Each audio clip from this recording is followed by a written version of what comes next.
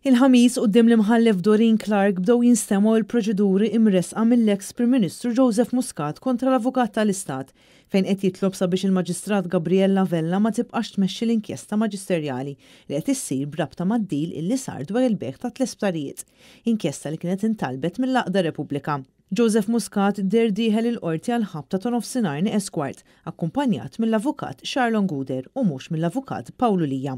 F'Awla 24, l-Avukat Charlon Guder f'isem Joseph Muscat li għal ħin twil qagħad bilqiegħda fuq bank mingħajr ebda espressjoni fuq wiċċu, talab sabiex din il-kawża tinstema' b'urġenza u b'mod immedjat l-att tal-inkjesta jiġu assenjati lil maġistrat inkwerenti ieħor li jkun imparzjali kemm fuq livell oġġettiv u soġġettiv.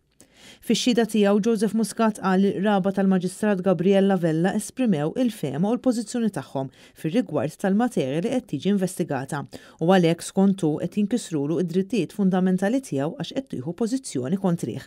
Huwa żied jgħid ukoll li l-Maġistrat qatt ma sejħitlu biex jixhed fl-inkjesta Maġisterjali dwar il-ftehim illi sar ma' Vitals u Stewart.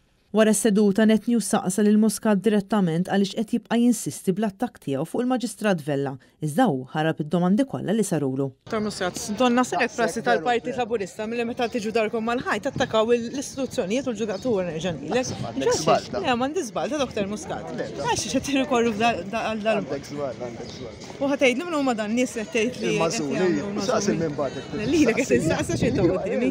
Intant l-avukat Jason Azzopardi li deher f'isem l-Għaqda Repubblika qed jitlob biex Repubblika jkunu parti minn din il-kawża li fetaħ Joseph Muscat għat-tneħħija tal-Maġistrat Vella.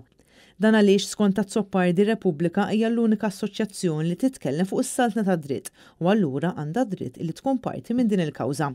Wara li semgħet is-sottomissjonijiet miż-żewġ naħat, l-Imħallef Doreen Clarke aġġornat is-seduta għall-Erbgħa 5 ta' Lulju, fejn dakinhar se tkun qed tiddeċiedi jekk dan il-każ hux se jinstema' b'mod urġenti, jekk il-Maġistrat Gabriella Vella hux se tibqa' tmexxi l-inkjesta pubblika u jekk l-Għaqda Repubblika hix se tingħata d-dritt biex tkun parti minn din il-kawża.